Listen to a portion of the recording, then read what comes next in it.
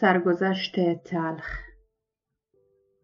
قصه حقیقی زندگی گرفته شده از کتاب پس از خاموشی نویسنده فریبا چرخی. شنونده های عزیز کانال فریبا چرخی میدیا در این ویدیو داستان سرگذشت تلخ را تقدیمتان می کنم. قبل از اینکه به اصل داستان بپردازم فراموش نکنید که کانال فریبا چرخی میدیا را subscribe کنید. و هم علامه زنگک را نیز فشار بدهید. اگر خواستید داستان را جهت خانش با من شریک کنید از طریق فیسبوک و اینستاگرام فریبا چرخی میدیا و یا ایمیل آدرس fcmedia@gmail.com با من به تماس شوید. آغاز داستان سرگذشت تلخ قسمت اول کاکا سلیم مشهور به معمار باشی مرد قوی هیکل سخت کوش و متین. در طول عمر مصروف کارهای ساختمانی بود. یعنی از نوجوانی تا جوانی و الا پختگی عمرش را وقف زحمت کشی کرد. بعدها با خانم به اسم فاطمه ازدواج کرد و ثمره ازدواجشان دو دختر و یک پسر بود.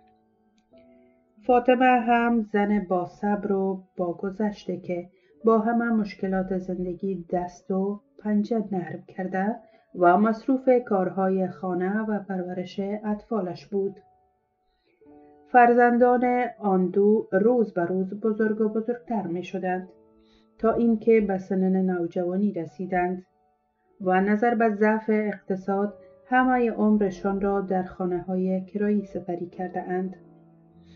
نادره دختر بزرگ این خانواده دختر درسخان و زحمتکش اما ناراضی از وضعیت زندگی به خاطر بیخانگیشان بود چون بعض وقتها حتی در یک سال تعلیمی دو بار مجبور به تبدیلی از یک مکتب به مکتب دیگر می‌شد. فرید برادرشان با وصفه که مصروف درس مکتب بود در ضمن پدرش را در کارها کمک می کرد. کریمه خواهر کوچکشان که کمی بیپروا بود و به خوبی و سختی زندگی اهمیت چندانی نمی‌داد. روزها و ماهها و سالها به ترتیب می گذشتند. زندگی این خانواده کوچک در کنار همه مردم شهر و گذر به گونه عادی پیش می رفت. نادره که تازه متعلم صنف دهم مکتب شده بود. یک روز وقتی از مکتب به خانه آمد دید که کاکا و خانم کاکایش بعد از مدتهای زیاد به خانهشان آمده.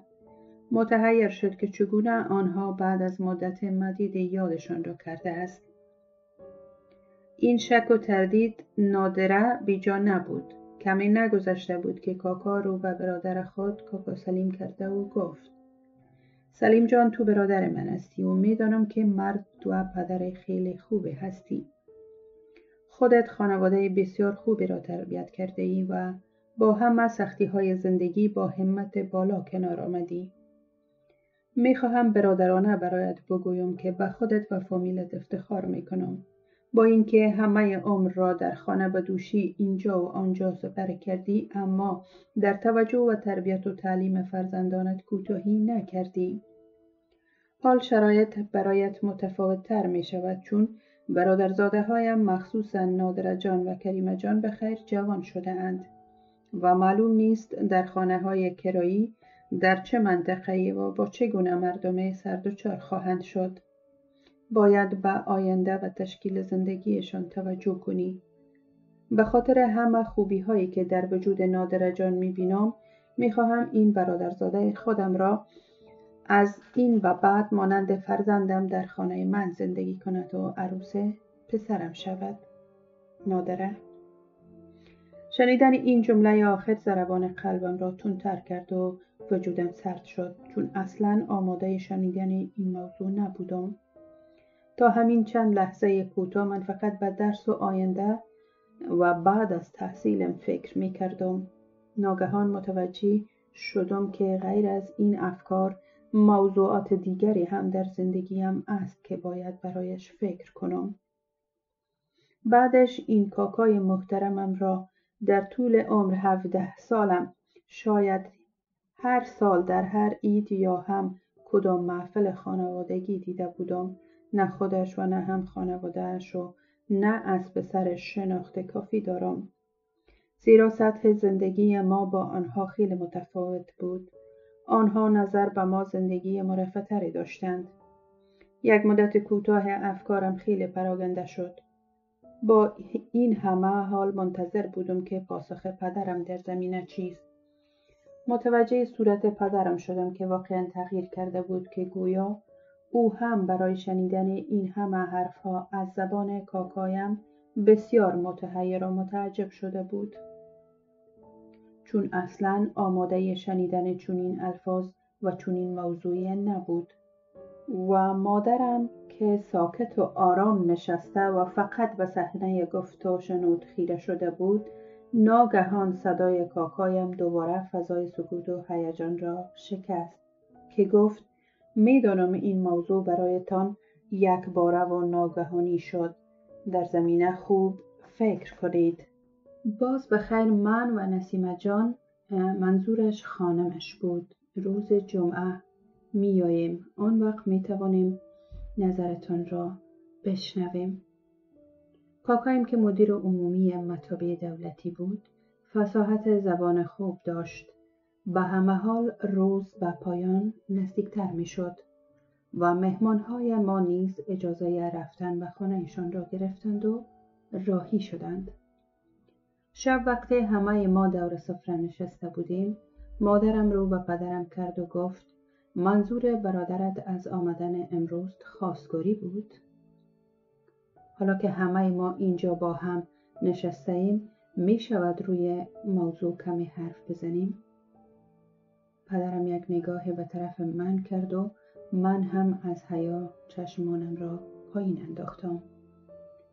اما پدرم گفت که دخترم اینجا نظر خودت شرط اول است.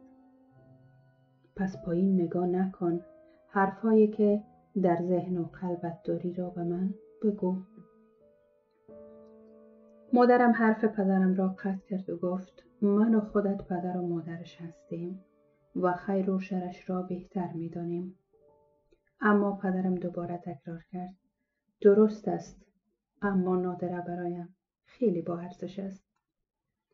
گفتم پدر من تا همین امروز یاد کردن موضوع از جانب کاکایم اصلا تا ختم تحصیلم به این موضوع فکر نکردم. مهمتر این که من هنوز خانواده کاکا دخترها و پسرهایش را اصلا درست نمی‌شناسم. و حتی نمی‌دانم که چه مصروفیت دارند. درس خواندهاند یا نه. فقط گاه گاه کاکا و خانمش را خیلی کوتاه و رسمی دیدم شنونده های عزیز بقیه داستان را در ویدیوی بعد بشنوید. برای تماشای برنامه های زیبا و متنوع channel یوتیوب ما را subscribe کنید. و همچنان برای تماشای برنامه های جدید علامت زنگک را نیز فشار دهید.